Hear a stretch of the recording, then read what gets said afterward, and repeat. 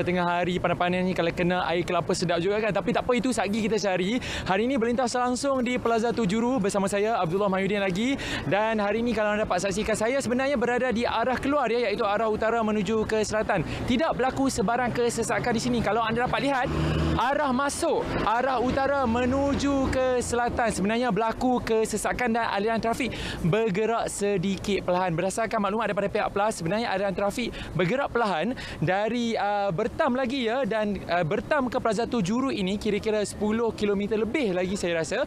Uh, sudah pun aliran trafik bergerak perlahan dan uh, sepanjang uh, perjalanan saya daripada Jawi Pulau Pinang ke Plaza Tujuru tadi uh, memang berlaku kesesakan uh, daripada uh, Jawi hinggalah ke Plaza Tujuru ini. Dan saya ambil kesempatan ini untuk menasihatkan kepada anda pengguna-pengguna yang mana nak pulang uh, habis raya nak pulang ke ibu kota untuk melaksanakan tuntutan kerja pastikan rancang waktu perjalanan anda dan pastikan kesesakan yang berlaku ini bukanlah berpunca daripada anda yang tidak mempunyai nilai kad touch and go yang mencukupi. Pastikan nilai kad touch and go mencukupi, RFID anda berfungsi dengan baik dan yang mana yang menggunakan uh, Smart Tag teruskan dan guna RFID itu boleh teruskan mudah, cepat dan selamat. Dan sedikit nasihat untuk anda yang mana sedang bergerak ataupun mahu merancang pulang ke ibu kota, pastinya ada pantun pesak-pesak uh, kurung kebaya.